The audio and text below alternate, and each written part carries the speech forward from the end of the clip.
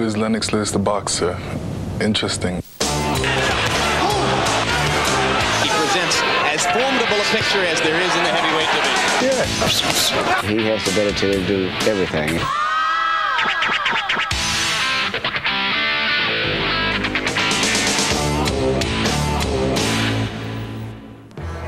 He's among the great curiosities of boxing. A fighter with a hulking physique and fists full of thunder, who's flirted with opportunities, but never punched his way to the top of the heavyweight division. The other knock on Lewis? When he fights, you rarely know what you'll get. Will he scrape and claw like a British bulldog? Or, as was the case in his loss to Oliver McCall, will he be nothing more than an English muffin? No one could be as good a fighter as Lennox Lewis thinks he is. It's, it's, impossible. If he's half as good as he thought he was, he'd be Joe Louis. I think that helps me in the sense having a lot of criticism because it helps motivate me because it wants me to prove them wrong. I'm always proving them wrong and they're getting paid $12 an hour. I'm getting paid millions. But getting paid millions will never erase the questions which surround Lewis. After the McCall fight, in which he suffered his first loss as a professional, Lennox made a strategic change, bringing in Emanuel Steward as his trainer. In the first Lewis McCall fight, Steward had stood in Oliver's corner. So now as he looks for redemption, Lennox can take from Steward a unique understanding of his only professional loss. Lennox, he first come in the ring for the fight, he had a very confident look in his face, but seemed like he was kind of still bewildered by the intensity that he saw in Oliver McCall. I was really hyper about the fight. I just wanted to go out there and just hit him and uh, explode with my right hand. Our entire strategy was based around Lennox Lewis's right hand, which we knew he would throw. We were throwing a lot of left hooks, mainly to make Lennox twist his body over to his left, which would be to McCall's right, for eventually he would catch him with the right hand. Lewis misses with the right. McCall gets a right hand to the body inside. If the first round is a prototype, so far it's a good one for Oliver McCall. Lennox Lewis hasn't really established anything in round one. Oliver came to the corner. I says, "You're just barely missing him with that left hook right hand combination." When he jabs, how you know you're blocking and you're throwing a hook. Right. Keep doing it because it's not landing, but it's moving him out of balance. short right That's now. right. But you're moving him out of balance when you throw that shot. Okay. And in Lennox's corner, to our advantage, his trainer was telling him to just go out and get this bum out. Stay on the stick. Keep it in the circle. When he's inside, try to catch him with the uppercut coming in. I think that was the wrong advice to give me at that point. Going into the second round, Lennox Lewis had been instructed to just come out and knock out Oliver as if he was just a, a nobody. I just wanted to throw that right hand, and I basically uh, committed myself and helped Oliver McCall punch me on the chin. Now goes Down Lewis. goes Lewis. Down goes Down Lewis. goes Lewis. Now that uh, they're going to fight again, I believe that Lennox will come in much better prepared than he was the last fight. Lennox Lewis will win. He will not step into no right hands. He'll definitely uh, go out there and do the job, and, and he's learned from his mistake. This fight it means a lot to him personally because he's fighting the only man that's beaten him and who knocked him out and took a championship. If Lennox can look very impressive in this fight, I think the public would then almost force a fight between Lennox and one of the big names. So it's not just important to win this fight, but we need to win it and look very impressive in it. If Lennox Lewis genuinely wants to return to the top, he must be impressive in his rematch with McCall. And as he focuses on his future, the memory of the first fight drives him toward the redemption he so desperately desires. Being called champ is great. It's a great feeling.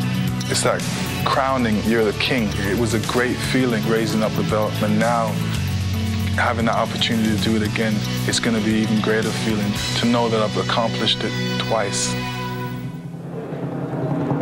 Minutes away from the rematch as Lennox Lewis and Oliver McCall go through final preparations in their dressing rooms, getting ready to come into the ring against each other for the second time, this time live from Las Vegas.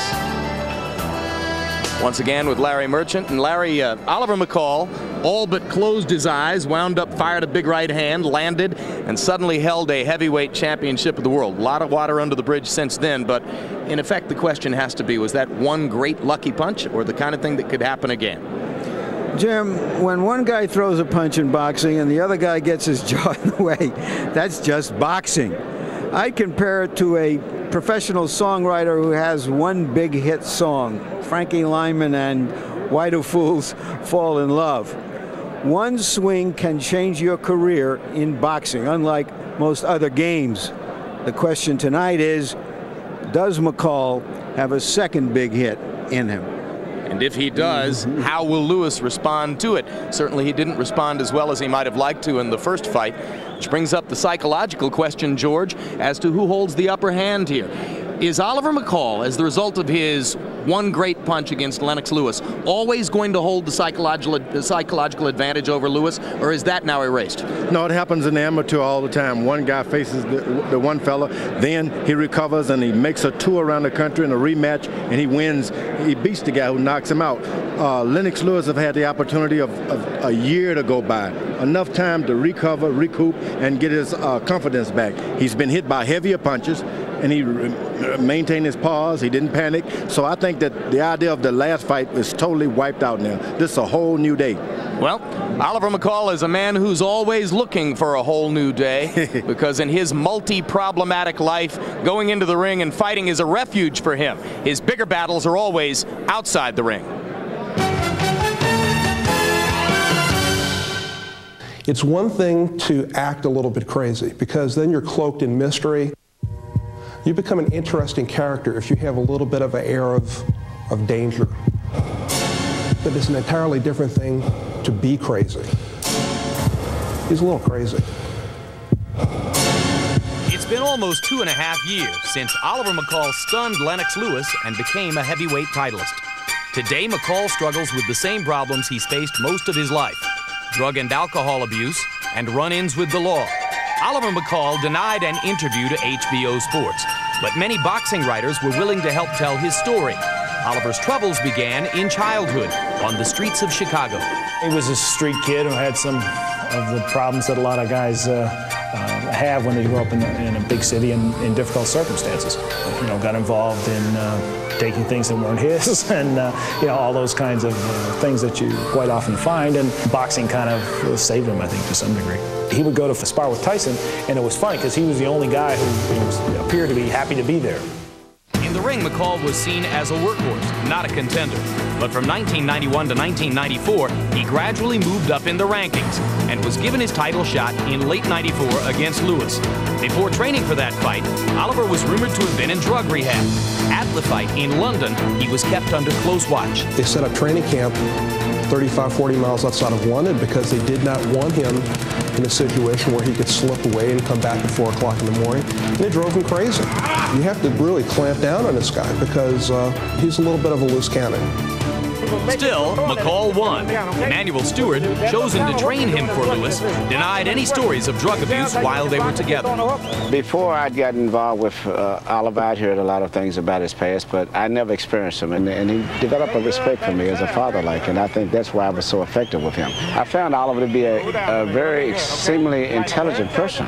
He's a, a gifted all-around athlete also. But after that victory, Steward left McCall for Lewis, citing differences not with McCall, but with his camp.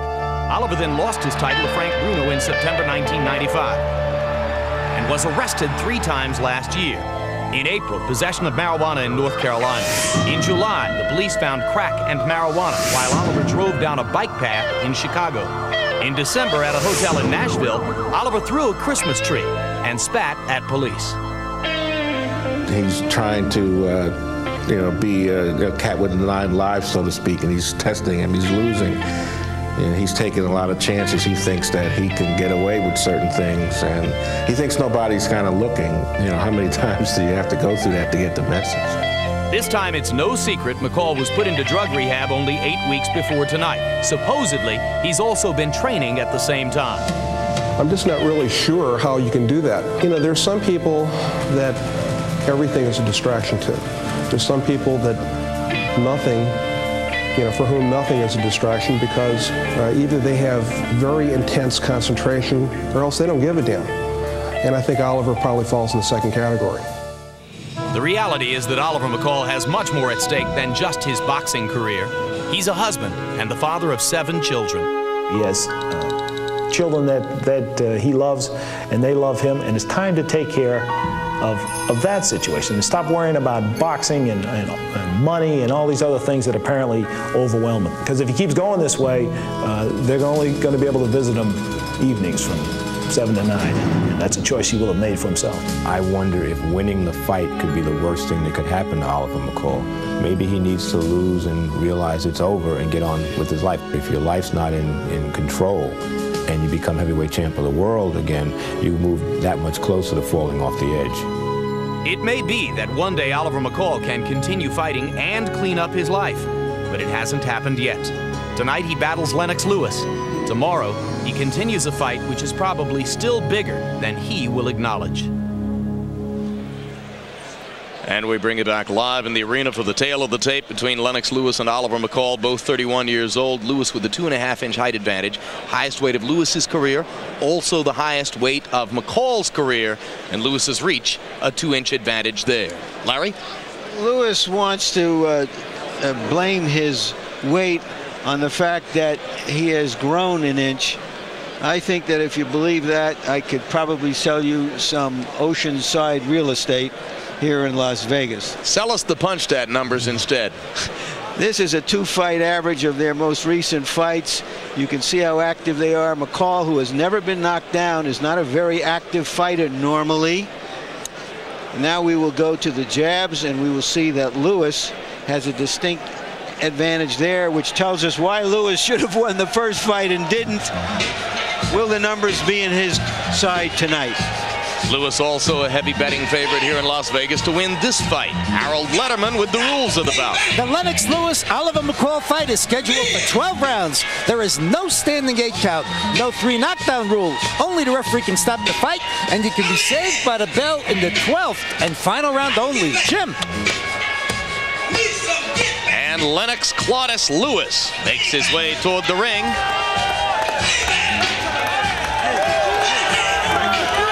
Longest layoff of his career. Only one fight, Larry, in the past 15 months of Lewis's life. And I, my guess is that has contributed more to his present weight than anything else.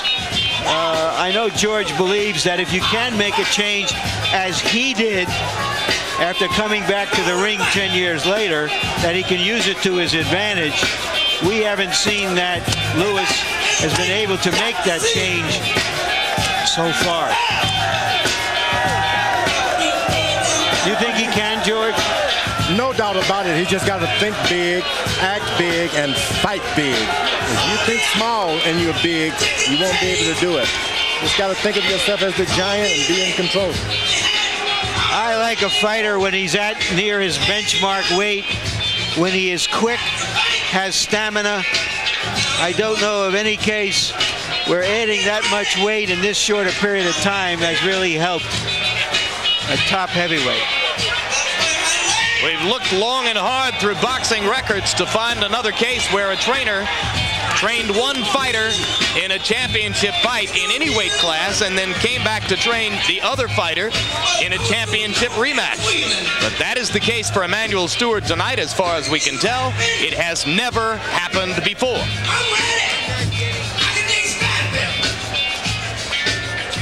The record for Lennox Lewis. 29 wins, one loss.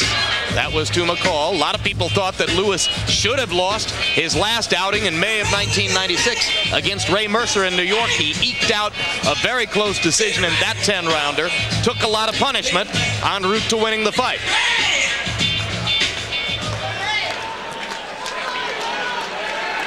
And now Oliver McCall, who won a coin flip, and I say won the coin flip because he has the right to come out second and now can make Lewis wait in the ring, has so far made no indication to us that he's going to come out of that dressing room. So, Despite the fact that he knocked out Lewis, he is a three to one underdog, largely because he looked lethargic beating the 45-year-old Larry Holmes and looked like he had slipped himself a Mickey when he lost the title to Bruno. But he may be one of those fighters who fights better as a challenger when there's something to win than as a champion when there's something to defend. You've known those kind of guys, haven't you, George? Yeah, sometimes it's easier to get yourself all worked up when there's something out there to gain. When you get it, figure you only have something to lose. It's not easy to fight like that. Very few fighters can do it. If you saw the fight in London, September of 1994, you might remember how wildly worked up McCall was as he made his way toward the ring that night. He's an emotional guy to begin with.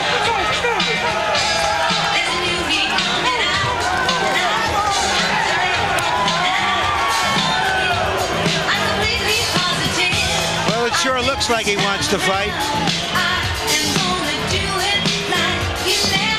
Well, he decided not to make Lewis wait after all as he runs into the ring with his various entourage members trailing behind.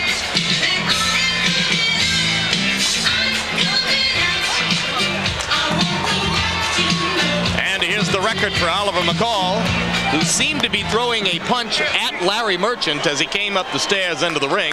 28 wins, 6 losses, no draws, 20 KOs. McCall has never been knocked out. I ducked it, Jim. And now let's go up to Michael Buffer, the ring announcer who doesn't duck anything. Ladies and gentlemen, welcome to the Las Vegas Hilton, where tonight, main events, in association with your undisputed, undefeated king of beers, Budweiser. This Bud's for you. Present 12 rounds of boxing for the vacant WBC Heavyweight Championship of the World. This bout is sanctioned by the Nevada State Athletic Commission. Chairman Dr. Elias Ghanem, Commissioners Nat Carasali, Lorenzo Fertitta, Luther Mack, and Dr. James Nave. Executive Director Mark Ratner. Physicians at ringside, lead physician Dr. Flip Homansky. Attending physicians Dr. James Wishgame, Dr. Al Capana, and Dr. Robert Voy. The timekeepers at the bell and counting to the knockdown seconds will be Jane Broadfoot and Mike Lachella. This contest also, of course, is sanctioned by the World Boxing Council. President at ringside tonight, Jose Sulaiman. WBC Supervisor, Edward Thangaraja. The three judges scoring the contest on the 10-point must system will be Anek Hongtongkam, Larry O'Connell, and Dalby Shirley. And when the bell rings, the man in charge of the action, your referee, Mills Lane. And now for the thousands in attendance and the millions watching around the world. This is the moment we've all been waiting for. From the Las Vegas Hilton, ladies and gentlemen, uh,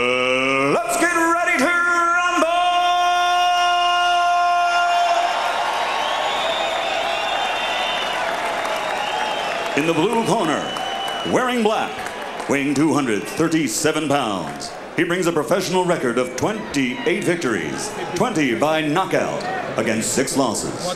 This evening he plans a return to glory by proving his victory over two and a half years ago against the man he now faces was not a fluke. Ladies and gentlemen, from the Windy City, Chicago, Illinois, introducing the WBC number two ranked heavyweight contender, the former WBC World Heavyweight Champion, the Atomic Bull, Oliver McCall.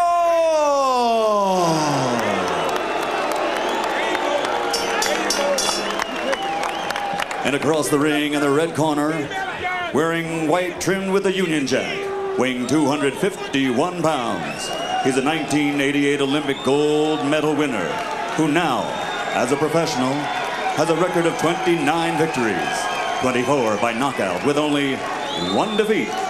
And tonight, he has the chance to regain this title by avenging that lone loss on his record. From East London, England, presenting the number one ranked WBC heavyweight contender, former WBC champion of the world, Lennox Lewis.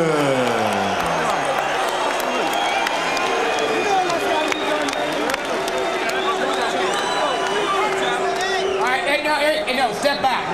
Hey, now look. There you go. Now, just a minute. There you go, that's right. Oh, wait a minute, Greg. Uh, Manny, if he goes right there, I'm not going to call it low, all right? No problem. We've already gone through the instruction. This is for the title. I expect a tough, clean fight. Protect yourself at all times. Any questions for Mr. Lewis's corner?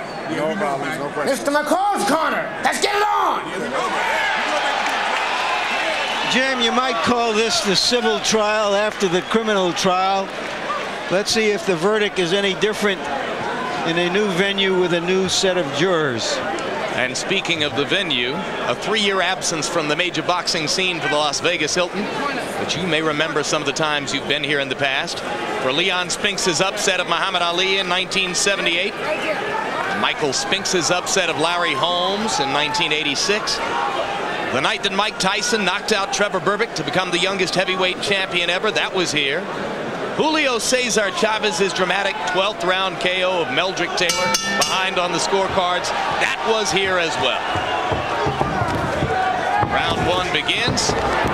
Emanuel Steward said that he expected Lewis to be tentative for the first few rounds of this fight until he shakes off the memories of his loss to McCall in 1994. The memories of that one punch. Steward goes on to point out that Lennox is by nature a cautious counterpuncher at the beginning of his fights anyway.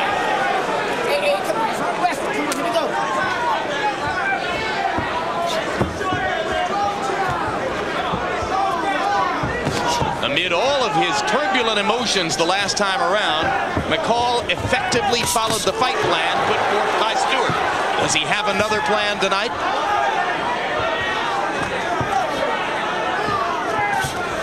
In the early going of the first fight, there was such a look of intensity on McCall's face. It looked like he was in labor. He's been much calmer coming into this round. Come on, let's go, come on.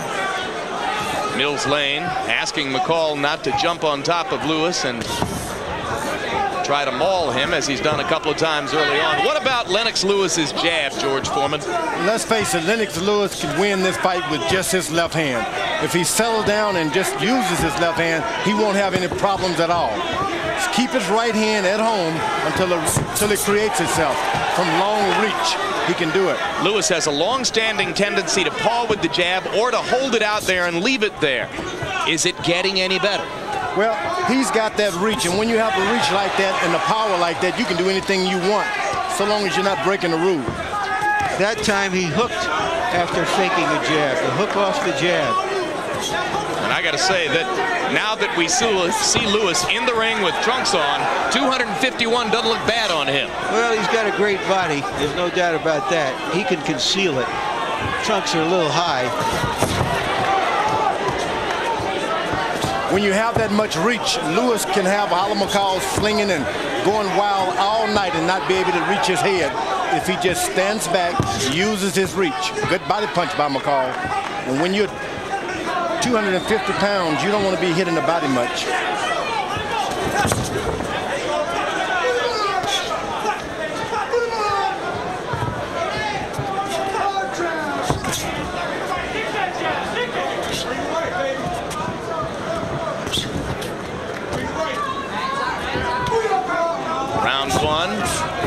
Of a feeling out round for Lewis. Call made some noise early and has been largely acquiescent in the last two minutes of the round. McCall jumped up Lennox Lewis, which played right into Lewis's hand.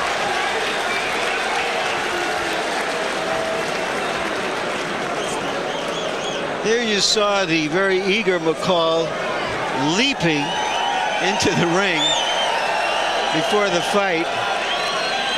He didn't seem that eager Listen, during the first round. Use the jab. Use the jab. You'll hit the guy with something.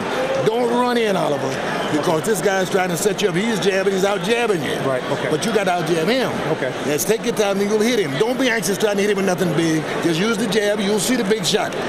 You understand? Now, but stay on top of the guy. Keep him going back. Don't you go back, because this guy can't fight too well going back. He can't throw punches. Mm-hmm. But if you let him come forward, Seconds out. If you let him Seconds out. Here we forward, go. he's going to be able to hit you. Come on, Manny. George Benton asking Oliver McCall for more aggression, saying Lewis can't fight if he's going backward. McCall was unable to make Lewis go backward in an effective way in the first round, and Lewis comes out and establishes that pumping jab at the beginning of round two. 49 of Lewis's 57 thrown punches in the first round were jabs. He didn't land but 10 of them, but he set the tempo early.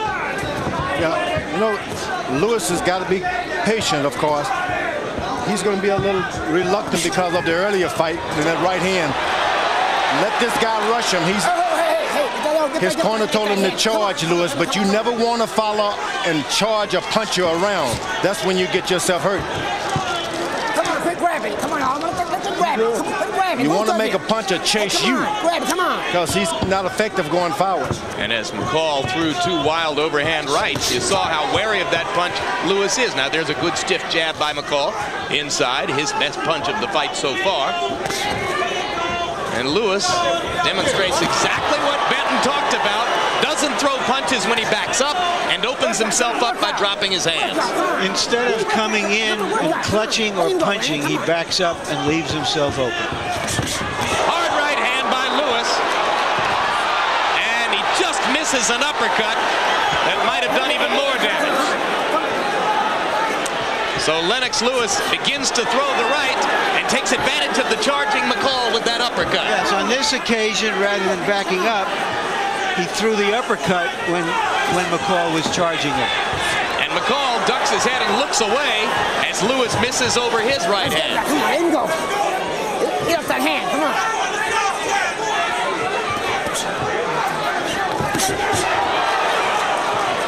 Lewis suddenly finding something with the uppercut here in the second round.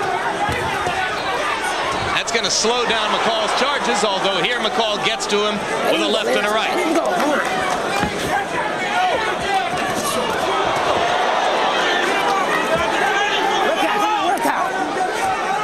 This when those two, 250 pounds start working against you. You can't just bump up into a guy with that much weight all night and not start feeling it, the results on your body. Call trying to land the right hand over the top again. This time Lewis blocks one and fires his own right hand. Lewis definitely looks gun shy when McCall releases the right, but aside from those moments, he's getting the better of Oliver. Now, this is what you call backing up. Lewis is doing a good job of backing up. Uh, really, you call when he was back, he was running backwards. That's not backing up. But he's fighting a Let good go. Fight, on, moving come on, let him back. go. Come on, huh? Another uppercut lands in there for Lewis as round two comes to a close. A round largely dominated by Lennox Lewis's uppercuts. Feeling good? Okay, you got to keep your right hand up. Your right hand is getting a little sloppy, okay? Keep your right hand up and start getting to him a little bit first, okay? You got past the second round. You got to start breaking at him a little bit more. You let him initiate a little too much. Jab, jab, break it in, but you got to start a little faster. Your hands are coming from too long, okay? And the boy's nothing but, if you want to look at his film, you're going to see how bad he looks. Anytime he runs, you run with his eyes there, but don't go to the rope. Try to go in a circle and keep your hands up. George, is he throwing this uppercut correctly or from inside or is he too far outside? Well, this is a big man. He's way up there. He'll never be able to throw a perfect uppercut because he's coming from so his arms have got to go down to the level of his opponent. So And there you saw a good right hand later in the round. it's going to it's going to turn out a bolo no matter what. By punch-stat numbers in the first two rounds, Lennox Lewis has virtually doubled Oliver McCall's punch output. McCall releasing 57 punches, Lewis throwing 111. 91 of those punches counted by our punch-stat numbers figurers were jabs.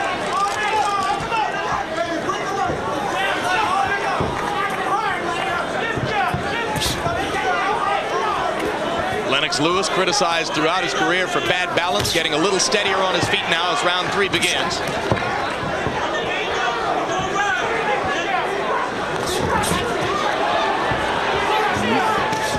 Lewis is doing some good boxing, although Oliver McCall is not putting his punches together. He's trying more to psych this man out rather than whippings. Are you suggesting, George, that he's trap shooting, looking to lay a trap and just land that big right again? More than anything else, trying to uh, wait around and fights go quick, you know.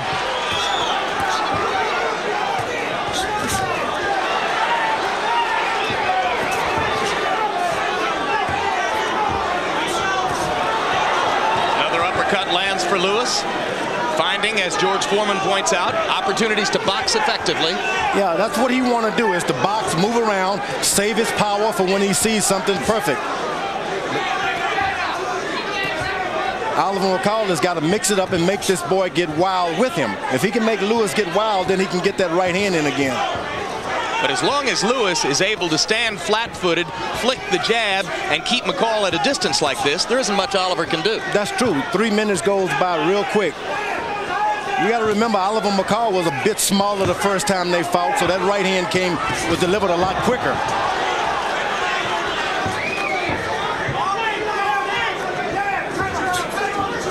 Interesting to see what kind of stamina McCall has tonight if this goes into the later rounds. Remember, he was in rehab for one of his multiple substance abuse problems at the beginning of his training camp. Lewis now landing hard right hands from over the top behind the jab. Now Lewis, if he wants, he can just do that all night. Why change anything? McCall is doing the acting job because he can't do anything else. McCall starting to look around and mug for the crowd as though he's either bored or frustrated. One thing he's not doing for the moment is winning rounds. He's hardly fighting right now. He has so much confidence in his stamina. He's been in with some of the good boxers before, and later on, they wear down. Good combination by Lewis. Left hook and a right hand over the top. McCall dancing as if to say you can't hurt me. But Lewis is piling up points easily against a too passive Oliver McCall. That's what you want your fighter to do. Win every round. If a knockout comes, good. That was almost a two-point round. Lewis was so dominant. I gave you two rounds. I gave him another one. So you got two rounds in the bank, okay? I gave you one of them, the other one to him, okay? Working the jab. Feeling all right?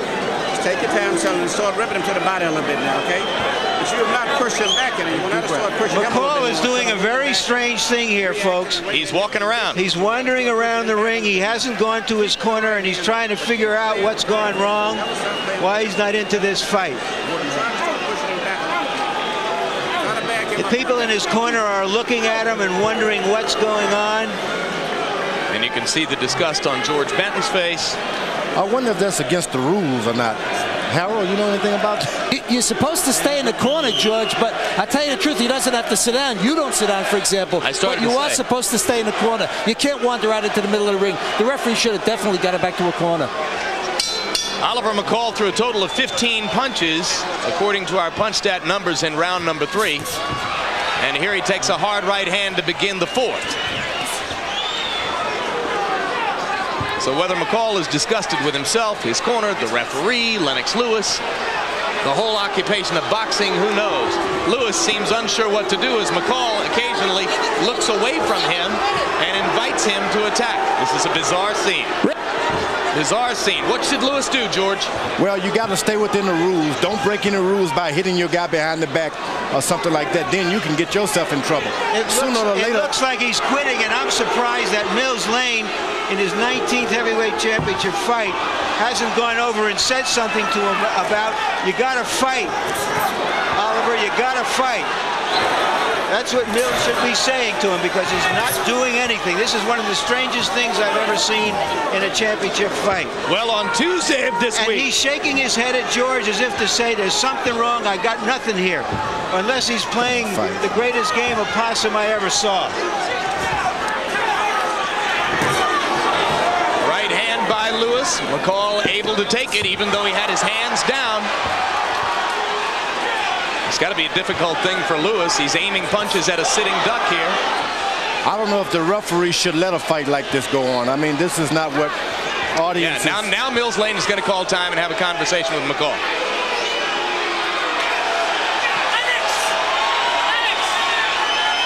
McCall has thrown one punch in the round. This is a bizarre display. I personally have never seen anything like it. He's not even looking at Lewis as he walks away. As far as you know, All right, let's go to Larry Merchant, who's with George Benton in McCall's corner. Larry? This man's mind is gone. George, you're saying that you think something he snapped in there? Well, you're watching it. You, you ever seen anything like this in your life? Never. Did you see any sign of anything wrong with him during training? No, never. Did you see any sign of him of anything in the dressing room before the fight? Nothing. Do you think the referee should stop this fight because he's not fighting back? I won't. I'm in this man's corner. I won't voice no opinion on that. But you see this man, he's still there. All you got to do is fight. Thank you, George.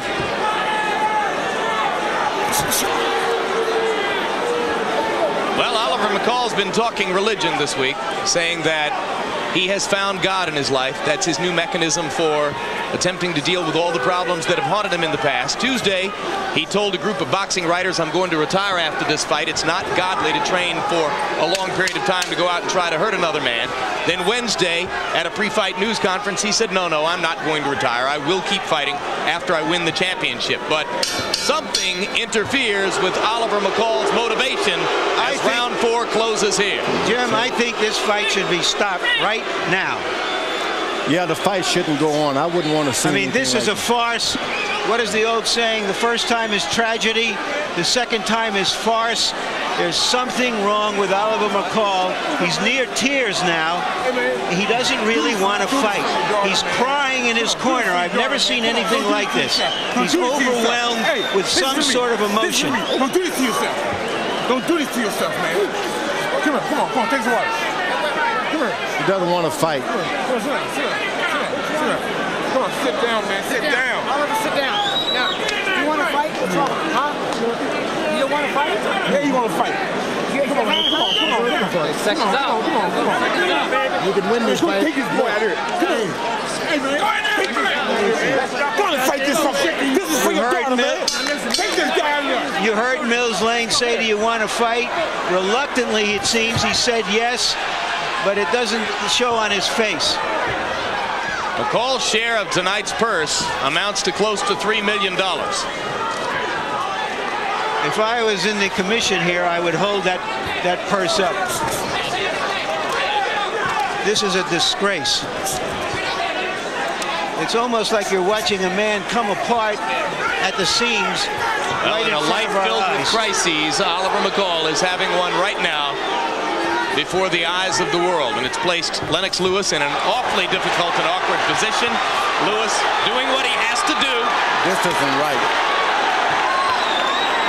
You wonder how much longer Mills Lane will allow this to go on. And that's that's going to be it. Well, I've seen some strange things in boxing. That is surely one of the strangest. With a whimper, not a bang, Lennox Lewis has just become the WBC World Heavyweight Champion for the second time in his career.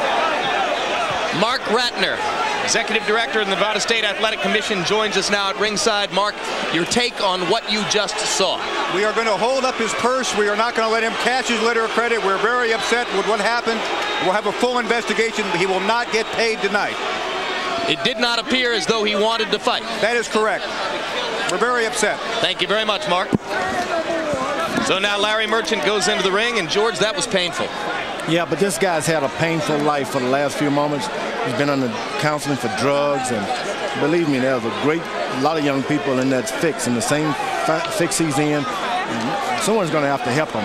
The last thing he needs in his life is the pressure of boxing right now. Yeah, that's a lot of pressure, and the crowd is cheering, and you really, I wanted to just get up there and embrace him and let him know it's going to be okay. It's going to be okay because what do you, where do you go from here? Let's hope, let's hope he can pr- continue to pursue the path of religion in, in which he now believes, and uh, that that can be the reconstructive mechanism in his life. Yeah, believe me, there are a group of people in this country who's in the same shape he is, and they really need us. And this guy is in bad shape, and he needs us. And I don't know. I'm sorry to see the boxing crowd see something like that because maybe they're not they're unfamiliar with it. But we see this every day in the lives of uh, uh, young people who got mixed up, got on the wrong side of the the track, and they can't get back on. George, you're a devout Christian. Your belief in God is the central motivating factor day to day in your life. Has it ever made you feel like you did not want to box? No, this is a job. It's a profession. Remember, there are people out there who are in his condition who are airline pilots, stewardesses, stewards, you name them. We do everything. And so they've probably felt like that. I don't want to go to work today. Let's go to Michael Buffer for the ring announcers for the official particulars. Ladies and gentlemen, here at the Las Vegas Hilton, referee Mills Lane has to call a halt to this bout. It comes as Oliver McCall refuses to defend himself, referee declaring a technical knockout at 55 seconds of round number five. The winner, and now a two-time WBC heavyweight champion of the world, the pride of Great Britain, Lennox Lewis.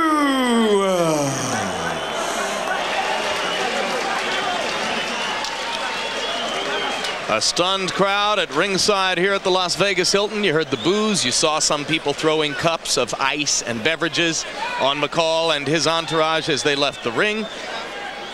Greg Page removing the gloves from McCall's hands and McCall discussing with bystanders over there whatever it was that motivated him to stop fighting in the middle of his proposed championship battle with Lennox Lewis. Larry Merchant stands by with the two-time WBC heavyweight titleist. Uh, Lennox, congratulations, I guess. What did you see? Well, I think the main thing is, you know, I went out there and, and, just asserted myself. I didn't allow him to come in too much. I think he found it difficult to get through through my jab.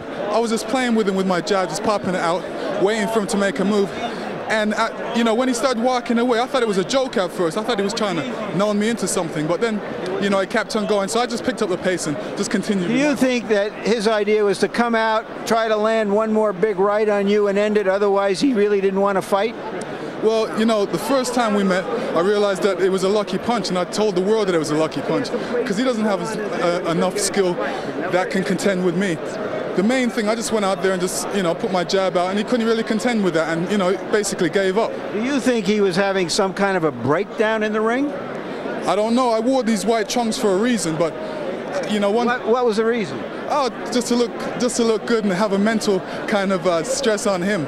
You know, seeing me come out as a, you know, as a gladiator in, in some sense. What do you want to do next? Next, I want to get in the ring as soon as possible and just continue the, the winning uh, success that I'm having. Thank you very much, Lennox Lewis. And now I'm with Emanuel Steward. Emanuel, first I have to ask you about Oliver McCall since you trained him for the last fight. Tell us what you thought happened. I think uh, he almost got like a miniature breakdown emotionally. Uh, he was very frustrated. I think the size of Lennox totally had him in awe. And, and after trying to get in, Lennox did what we told him. It was not a hard jab. It was just a continue like a range ranger jab to just keep him at a distance and keep him frustrated. We figured about seven, eight rounds we would knock him out. But he just got totally frustrated because he could not effectively get in. And I think it just got to a point, being that he's such a high-strung, emotional guy, that he just said, forget it. Did he, in some sense, revert to being a sparring partner after that? I think to a certain degree he did resemble a lot of the sparring partners that we worked with. And we had watched a lot of George Foreman's films, believe it or not, and we went back to just use that. We call this a all the time steadily filling him with a left hand and being ready to take a step back with your right foot as soon as he comes forward. And it worked. And mentally, it just broke him down. He was so, when a guy is really charged up and wired up the way that he is, it's very easy to confuse him. I recall, and I mentioned earlier, that after the first, then just before the first fight, he's, he seemed wired up beyond being wired up. We thought he was having a breakdown before that fight. Yeah. He came in in a much more low-key way this time. What, what did that signal to you? He could never attain what he was that night. That's one of those uh, unbelievable highs. They tried to do it, and that was why Lennox's orders was to not do nothing aggressive. The first round was to clinch him, wrestle him up, throw him down to kind of slow him down. A lot of what Evander did to Tyson. When a guy's really wired up, you wrestle and do different things to kind of slow him down and get him out of his groove. And after he got of that charged up mode, it was just a matter of time before he just got frustrated and said, I quit. What did you tell Lennox between rounds? Because certainly I, you probably have never had a fighter faced with that situation. I thought that Oliver was up to a trick. He was just trying to sucker punch to get Lennox to come in. So the first round that he did that, I was a little caution. But the, after the, the last time I saw it, I said, just go ahead and charge him and put a combination of punches together, and he's going to quit. This, this question. I've heard stories of uh, Emanuel that after this fight, you may go to train Mike Tyson. Would you comment on that? I'm with Lennox Lewis. I, everybody's saying this but me. So you haven't negotiated, No, and you are you are Lennox Lewis's trainer. I've still got work to do with Lennox. We got to fight, I guess, in May against uh, Akinwande or whatever, and then hopefully after that to fight Holyfield, probably uh, whoever, Tyson. Thank you very much. Back to you, Jim and George. All right, let's briefly take a look now at the moment at which Mills Lane elected to stop the 19th heavyweight championship fight of his refereeing life. It was an all too anticlimactic moment for I'm trying to see a monitor here. An all too anticlimactic moment for the crowd which paid big money for tickets to the fight and a dangerous moment as well. Lennox Lewis was doing what he had to do, trying to land big right hands against an Oliver McCall who was barely defending himself and Mills Lane at that point had seen enough and now we bring you live to ringside with the referee himself, Mr. Let's Get It On, Mills Lane. Mills, you've you've had a lot of tough assignments in boxing. That had to be one of the toughest. It was amazing. I think something happened. I think he suffered some type of an emotional breakdown. It looked like he was crying, his lip was quivering. And then I thought at first he was playing possum. And the, then he, he just wouldn't defend himself. And I mean, it was just no use for it to go on. Was it painful for you and a little scary to watch Lewis throwing those big right hands against a guy who was barely defending himself? Especially when he had his hand down with no chance to defend himself and didn't even want to. He looked like he almost wanted to get knocked out. When you went to McCall between rounds four and five and asked him if he wanted to continue fighting, did he seem to be indicating to you that he thought he did? Yeah, he said, I gotta fight. I wanna fight, I gotta fight. But then he came out and did uh, exactly the opposite. Now, you could have disqualified him, it seems to me, for walking around the ring between rounds and not going into his corner. Well, I don't know. You can, you can stand up. You're supposed to be in your corner when the bell rings, but you can stand up. So I don't think that's a ground for disqualification. Uh-huh. Did you ever consider asking his corner what the heck is going on with this guy and what should I do? I didn't ask him what I should do. I don't want the corner telling me, but I did go to the corner and say, What's wrong with your kid? Something's wrong here. Well, Mills, I think you come out of it unscathed because nobody got hurt, and uh, let's just hope that the next heavyweight championship fight you do has a little more action than this one. Thanks, Jim, very much. All right, Mills Lane, one of the greats of his trade. And now let's turn our attention back to George Foreman. And uh, George, it seemed to me that Oliver was trying to send a message to you, even during his unusual performance here. He was looking at you from time to time with a look that seemed to say, "I'm not sure whether I want to be here." What did you make of it? I signaled to him for the, to keep boxing. You- this is your sport. This is a livelihood. We've got kids to feed. Don't ever put this sport to shame. But he looked at me as if to say, Mm-mm, I'm not going to do that. I'm just, I'm not going to do it. And so I figured he had some sort of breakdown today, and he's going to really need to be embraced by his family now. It's going to be hard to live with or something like that. A lot of us felt that uh, Lennox Lewis would benefit enormously from a stirring win here tonight. You know, if he could perform well, attack Oliver McCall, knock out the guy who had knocked him out. Does he gain anything from this? No doubt about it. He was able to keep him at bay with that left jab and make it look easy. Whenever Oliver McCall tried to throw a right hand, he just waved it off. It frustrated him. That was part of the reason that he just literally quit. What do you make of the heavyweight division these days, George? Of course, you're back as an active fighter now after having taken a little bit of time away from the ring. You've got uh, Lewis, who holds a championship belt. Holyfield has a couple of them. Akinwande is seen by his promoter, Don King, as a factor in all this. What do you make of the heavyweight division right now? Well, because of television, a lot of people didn't know previously in the past that boxing has always been like this. It's nothing new. It's the home of the good, bad, and the ugly. but look, eh, the fighters are getting into the ring. They're making a living. They don't have to fight a lot of fights to get a big purse now. They don't have to end up walking on their heels and things of that nature. So, as a rule, boxing is in a good state. Some of the boxers, they're not in a, such a good state, though. Well, one of them tonight, obviously, was Oliver McCall, and we told you about the personal problems that have dogged him throughout his life. Obviously, as I told you before the fight, those are bigger issues in his life than whether he wins a boxing match. Larry Merchant's been trying to get into McCall's dressing room to find out what's going on there. Let's see what he's got. Larry? Jim, I've been Jim, I've been trying to get in without much success. Commission doctors have been talking to McCall. We don't know the results of those talks. We've tried to get people in the camp of Oliver McCall to talk to us, but nobody is talking right now. We have heard from George Benton before. It's as strange to him as, it any, as anyone else. Here, one moment, and Mark, Mark Ratner will be with us Mark, of the commission. Mark, what can you tell us that you didn't know 10 minutes ago?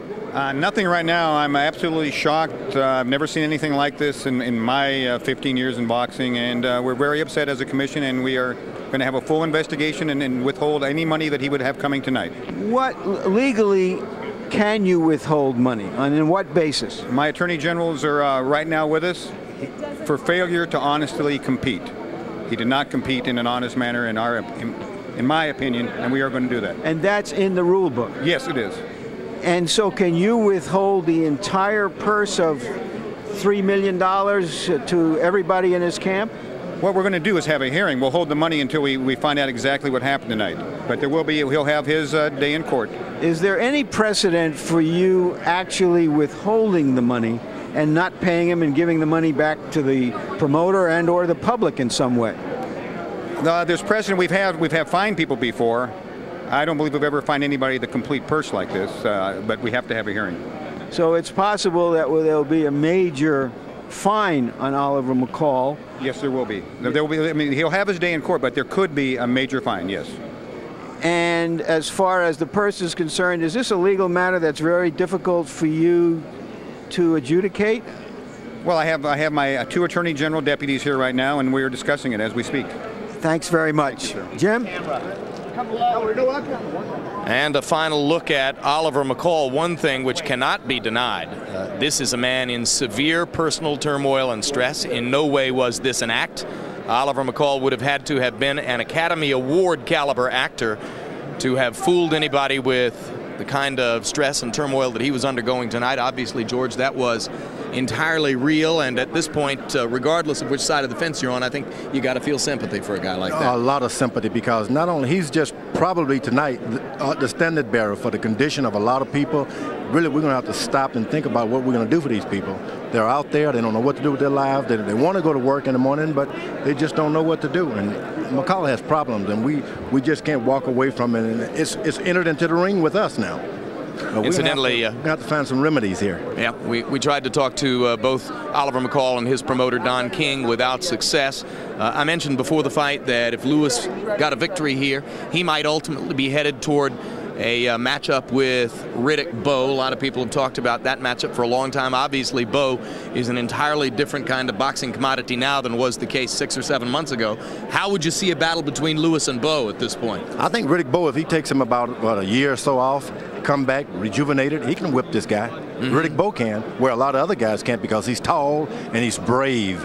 And that's what you're going to need to fight someone like. Uh, yeah, Bowe and Golota are really the two guys who are big enough to fight Lennox Lewis on his own terms. Right? I don't know about Golota. This guy may he may want to have a child or two first before he goes back to Golota. Fabulous, George. All right. Well, thanks very much. Pleasure as always. Larry, what does this do to boxing's heavyweight division? Well, I don't know. Maybe Lennox Lewis will now join the Foreign Legion. and in that way, he can meet uh, Riddick Get himself Bowe, ready for Bowe, yeah. Right, on the shores of Tripoli. Mm-hmm. Um, you know, tragedy and farce. And nobody really has any answers. The crowd around us is as befuddled as you no doubt are. Um, I've often called boxing the theater of the unexpected, and I think this time we went beyond the theater of unexpected. Indeed.